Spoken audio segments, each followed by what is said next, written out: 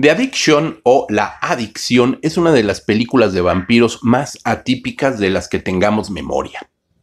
Se trata de una película dirigida en el año de 1995 por Abel Ferrara, un cineasta completamente atípico, también él en su trabajo, que prácticamente desde su ópera prima se convirtió en un cineasta de culto al cual había que seguirle la pista.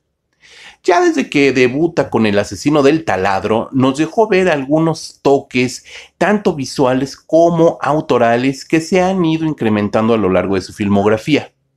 muy rápidamente con Mrs. 45 y sobre todo películas como The King of New York, Bad Lieutenant y por supuesto aquel remake que hace de Usurpadores de Cuerpos, se establece como un cineasta muy consolidado en el ámbito del cine independiente y por supuesto de alguna manera vinculado al cine fantástico. Tan es así que en el año del 95, como ya dijimos, filma esta película de vampiros en un tono completamente atípico a lo que veníamos viendo de la cultura pop vampírica de finales de los años 80 y primera mitad de los 90. En The Addiction, Abel Ferrara nos va a llevar a repensar el vampirismo no de la manera romántica tradicional que la literatura gótica y las películas que se desprenden de ella nos han venido presentando a través de la historia, sino que la lleva hacia un ámbito completamente infernal y depresivo como lo es el de la drogadicción. Si bien es cierto que películas de la era de Hammer Films como The Horror of Drácula y algunas otras, en eh, el personaje de Van Helsing se había puesto algunos diálogos donde hablaban del estado vampírico muy cercano al estado de aquellos que son eh, adictos a la morfina, realmente nunca se había visto una película donde el vampirismo y la drogadicción se fusionaran en un solo concepto. Si acaso algunas películas pop de finales de los 80 como Near Dark o quizás la más obvia de Lost Boys, Los Muchachos Perdidos, nos hablan, o mejor dicho, nos sugieren de alguna vena más o menos drogodependiente, sobre todo en el modo de vivir de las figuras vampíricas, en este caso de Lost Boys, una pandilla de jóvenes motociclistas, pendencieros, pandilleros y demás, esa incorporación del uso de drogas se da más por asociación que realmente por su condición de seres de la noche. En The Addiction, Abel Ferrara va a evitar cualquier tipo de interpretación y lo va a presentar de una manera completamente directa y sin tapujos. Nos va a presentar el personaje de eh, Caitlin, Kat, una chica estudiante del doctorado de filosofía que se está cuestionando constantemente acerca de la presencia del bien y del mal en la sociedad a través de la humanidad, a través de todos los años. Eh, y por supuesto nos va a llevar también a hacer una reflexión acerca del uso y abuso del poder para llegar a estas instancias de la malignidad per se en el ser humano. Muy rápidamente vamos a encontrarnos a Kathleen, eh, abordada por un personaje que rompe con el contexto que nos ha presentado Abel Ferrara, quien recurre a un uso de la cámara de tono documental que ya habíamos visto desde su ópera prima El asesino del taladro, para presentarnos una ciudad de Nueva York decadente, fotografiada en blanco y negro, lo cual es muy importante, y donde se mezclan, por supuesto, los barrios bajos más miserables del Nueva York de los años 80, que no tiene absolutamente nada que ver con el barrio neoyorquino que hoy es un sinónimo de glamour y de buena vida. En aquel momento Nueva York era una cloaca y así es presentado por Abel Ferrara. De manera discordante nos presenta un personaje de una mujer ataviada en un vestido de noche, muy guapa, de cabello corto, un tanto andrógina, que em, aborda de una manera muy sugestiva a Kathleen, arrastrándola, empujándola de una manera un tanto violenta hacia un callejón en donde lo único que le va a decir es dime que me vaya, pídeme que me vaya y me iré.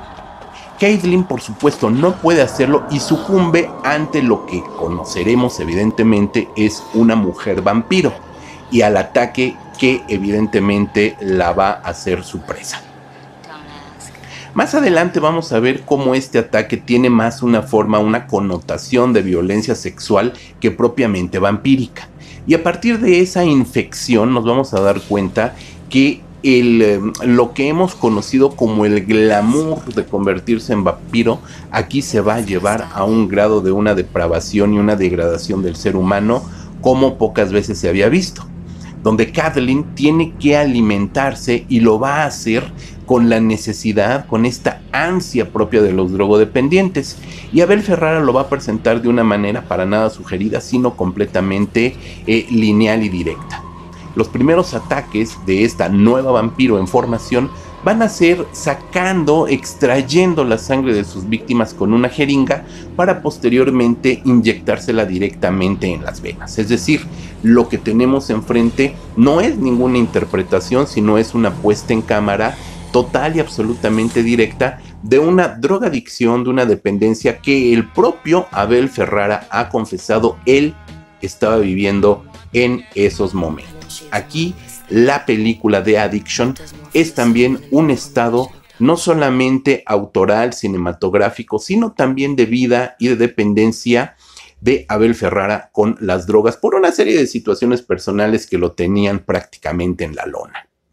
La película es un compendio de imágenes en blanco y negro, muy estéticas, muy bien retratadas, perfectamente fotografiadas, que rompen con todo el glamour que hemos venido conociendo del cine de vampiros hasta ese momento y que nos deja para la historia una estética que ha terminado por influenciar a otras películas. Hoy por hoy no podríamos pensar en una película como la ópera prima de eh, una chica camina sola de noche, una película eh, de vampiros que es la ópera prima de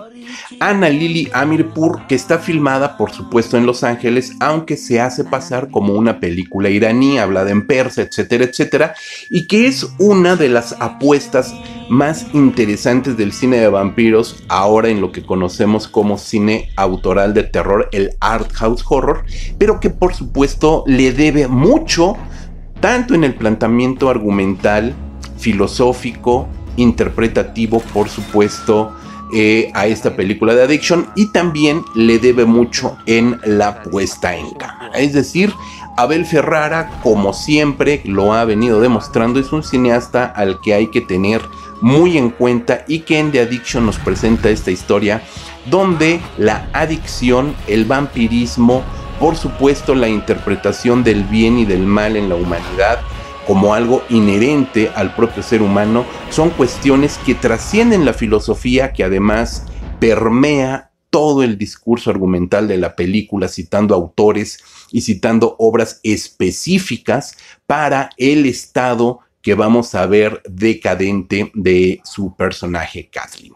The Addiction es una película que en su momento, en su momento compitió en la selección oficial del Festival Internacional de Cine de Berlín, es decir, es una película que trasciende el ámbito de lo meramente fantástico y que fue valorada por su contenido autoral y por toda la interpretación que hace de la sociedad una sociedad, por supuesto, a inicios, eh, o mejor dicho, a mediados de los años 90, en un Nueva York que apenas estaba despertando a ser lo que hoy conocemos. Completamente recomendable esta película y por supuesto la actuación de Lily Taylor, esta pequeña musa pequeña, gran musa del cine independiente de los Estados Unidos de los años 80 y 90, le da un, eh, un relieve muy interesante a este personaje de Kathleen, logrando transmitir todos los estados de ánimo que constantemente va sufriendo y va atravesando a lo largo de la película, que por supuesto es una de las obras eh, quizás hoy menos recordadas o menos conocidas por los grandes públicos de este cineasta Abel Ferrara, pero que nosotros los cinéfagos recordamos aquí como una de las psicotronías más interesantes dentro del cine de vampiros contemporáneo.